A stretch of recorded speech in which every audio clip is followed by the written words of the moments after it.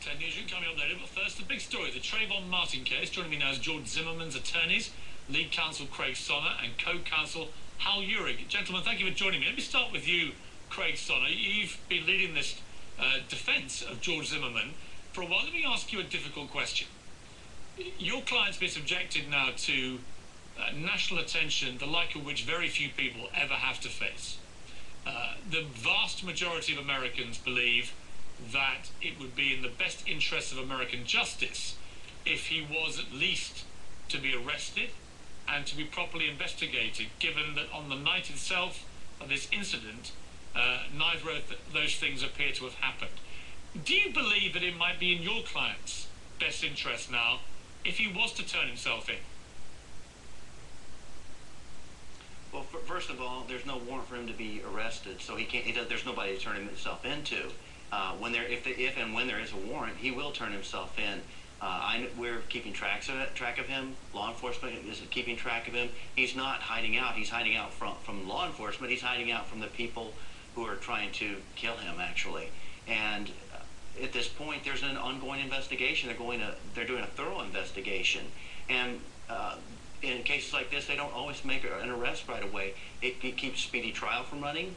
So that gives the law enforcement more time to investigate the case.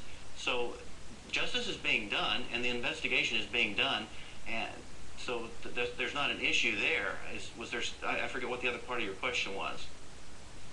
Well, no, I think you've, you've pretty well answered it. I mean, in the case of justice being done, isn't the problem here that justice has not been seen to be done properly, in the sense that George Zimmerman, on the night, was simply allowed to go home, having used a firearm to kill an unarmed young teenager. I mean, that's what happened. And most Americans believe that that was fundamentally not justice being served. Well, justice is not being served because all the facts of that night have not been brought out. Not a single thing has been brought in into the media to, that would be admissible in court. Those things, all those facts need to be brought out and justice being done. There's been no justice for George Zimmerman. He's been tried and convicted in the in the court of public opinion based on facts that are not even true, It's presented as facts, uh, things that, that don't that don't add up, that don't make sense. And when all the facts come out, when the police finish their investigation, you will see that George Mar George Zimmerman was acting in self-defense that night. Let me, let me put to you just some facts, which I believe are facts, but you can certainly query that if you want to. One, uh, George Zimmerman was not supposed to be carrying a gun while operating as a neighborhood watch official. Would you accept that as a fact? George Zimmerman was on his way to the store, and he was allowed to legally carry a gun with him because he had a concealed weapons permit when he went to the store that night. But if he was acting as a neighbourhood watch official, then you would accept as a fact that he should not have been carrying a weapon, or indeed using it. The one thing we know as a fact is that George Zimmerman was attacked by Trayvon Martin. He was punched in the nose, he was taken to the ground, his head was beaten on the ground, and he acted in self-defense when Trayvon Martin was shot. That's the facts that we know. Right, well, but they're not facts, though. They are supposition. Well, in a moment, Hal, if you don't mind, but that's not actually a fact, though, is it? That is a supposition based on what George Zimmerman has told you and told the police. But in terms of factual evidence for that, that is still not clear, is it? It's not factual evidence yet. Once that's right. That's why I'm that's why I'm telling everyone to, to wait before you rush to judgment Wait till the facts come in. Wait till this case goes to court. Wait till the facts come in. Admissible evidence in court, not what's admissible evidence in public opinion, because what's admissible in public opinion are doctored 911 tapes and whatever anyone else wants to say about George Zimmerman. It's been open season on just destroying this man's credibility, destroying who he was, and, destroy, and he can no longer go back to the person he was being involved in his community, mentoring children. Uh, you, have destroyed him. The public, the media has just absolutely destroyed him unfairly. And the conclusions you're, you're, you're drawing in your questions to me show that you've already reached that same conclusion too. And what I want you to do and I want America to do is to step back, use your cool head, and listen to the facts. Listen to what comes out. Listen to what the police investigation shows And I think when you do that, you will see that George Zimmerman acted in self-defense.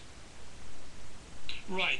The 911 operator that he spoke to told him not to follow Trayvon Martin, and yet he did. You accept that as a fact? No, they did not. Absolutely not. That's not a fact. If you listen to the tape, Okay, if you how- listen to how the tape, rig- if and that's, and you- that's you the way it's, that's the way it's been spun. Okay, that's the way it's been spun. But that's not what the operator said. They asked, "Are you following him?" He said, "Yes." The operator said, "We don't need you to do that." Now, the way that's been repeated is he was ordered not to do that. Words mean things. It's the same mean thing. very specific things. No, it's not the same thing. For you to suggest that he's not entitled to have a firearm with him, that he's licensed to carry, because while he was on the way to the store, he happened to notice someone and undertake the responsibility of a watch captain to call the police and report it, is absolutely ludicrous. He's got a license to Right, carry. but let me let me He's stop you. Let me stop you there, Mr. Uhrig. Sure. Let me stop you right there. That's very Yeah. very interesting. Sure. So what you're saying to me is that he was acting once he made that call to the police to the 911. He was then acting as a neighborhood watch official. Do you accept that? Is that what you're saying?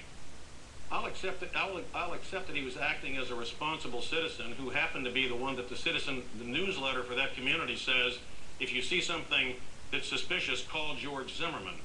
But the fact that he happens to notice something while he's armed doesn't require him to get out of his car, go lock his gun in the trunk, and play by a different set of rules. He's licensed to carry that gun, and by the way, he's legally entitled to defend himself. Right, but he's not actually allowed to carry a gun as a neighborhood watch official. That's why you saying that when he You're made wrong. the call to 911, he was acting. Well, I'm not wrong. That is the law, isn't it? You are wrong. You are wrong. I don't know who's talking So- to you about the law, but you're wrong. Right, There's so nothing in the law watch officials. if you act as a neighborhood watch watch captain, officials. There's, Right, they they can all go weighed up with firearms, can they? absolutely. You may have a little handbook that suggests that you don't, but to say that it's illegal to do so is a misstatement of the law. Let, let me suggest something to you. It is a terrible tragedy that Tra- Trayvon Martin is dead. His parents are suffering uh, unimaginable grief. That grief is not being helped by people coming to town uh, telling falsehoods in order to raise racial strife. The morning of February 26th, we had a peaceful community where blacks and whites went to church together, stood in line at the grocery to- together, and didn't think that we had a problem. After some folks came to town and had their little rallies and made irresponsible speeches about murder and racial profiling, he's not a racist. It wasn't profiling. The reason that Trayvon Martin is dead is not because he was black or because he wore a hoodie or because he was walking in the rain. It's because that six foot three young man made a terrible decision and a bad judgment, and he decided to smack somebody in the face and break their nose, jump on them and smack their head into the ground, and in doing that, put him in reasonable fear for his safety. You're going to find that there was a, a dispute as to what happened with the gun. He was absolutely entitled to defend himself, and that's why Trayvon Martin is dead, not because of racial profiling. Well, I've not suggested racial profiling or that your client was a racist, nor indeed am I trying to convict him or taking a side. My view from the start has been it seems incomprehensible to me under any form of stand your ground or any other absurd law as I view it, that somebody could shoot somebody who turned out to be unarmed and not even be arrested on the night. In, in Britain, where I come from, that would cause a sensation the like of which our justice system had never seen before. Florida clearly believes that this is the right way forward. I don't think it is. However, understand one thing very clearly. I am not trying to convict your client. I want justice to see its course. The argument against what's happened here with your client is that on the night, the investigation was basically concluded and he was sent home because there was no evidence to disprove George Zimmerman's story that he had been acting in self-defense. The reason I wanted you two guys on tonight was precisely to try and talk through some of the developments in factual information or otherwise to try and get a clearer picture of exactly what we're dealing with here. And I would argue, back to both of you, you've both been just as emotive in stating what you believe to be facts as other people have been on Trayvon Martin's side. And I'm not sure that does you, as the attorneys, a lot of credit, frankly. Let me suggest a difference, all right? The people who have been emotive at these rallies, A, were not there, and B, have not spoken to anybody who was there. the sole eyewitness to this, the only eyewitness who talked to the police that night and gave them his statement, said that he saw George Martin on the ground crying for help, being beaten by Trayvon Martin. That's not a supposition, that's a fact. You can choose your opinions, but you can't choose your facts. Where we're going to find the facts is when the investigation is entirely completed. Neither the Sanford Police Department, nor the Florida Department of Law Enforcement, nor the Department of Justice, nor the Special Prosecutor owe you or me or the public the luxury of giving us every little fact as they do their investigation. When they're done, if we'll be a little patient and not convict him ahead of time, we'll find out how those facts apply to the law.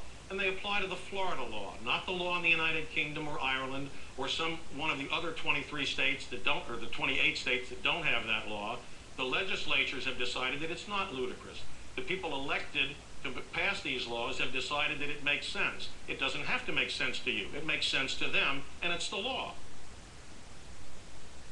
I mean, let's try and get to the factual detail of the injuries. When I interviewed Robert Zimmerman, George's brother, he told me that he had sustained a broken nose and it was still broken today.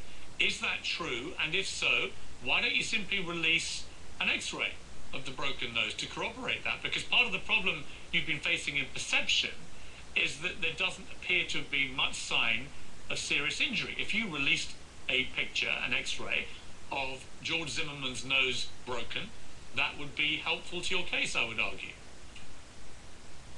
Well, first of all, first of all, he's already been tried and convicted in the media. We're going to try this case in court, and that and all those all that evidence will be presented at that time, but not here and not tonight and not on this program.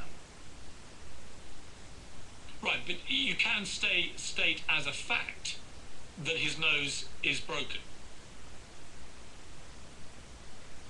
I can state as a fact that his nose is broken, but for the rest of but, but for me to establish it and to find, get have it admitted in court, that is not going to happen tonight because this is not a courtroom. You're not a judge. We're not operating under the rules of evidence under the state of Florida. You're trying to get me to litigate this case right now. And I've and as I've said many times, and I'm sure you've watched my other interviews, we're not going to litigate this case in the public media. This is going to be litigated, if at all, well, in actually, the courts in the state of Florida. Yeah, actually, Mr. Sonner, you've been litigating the case in Actually, this interview what? too.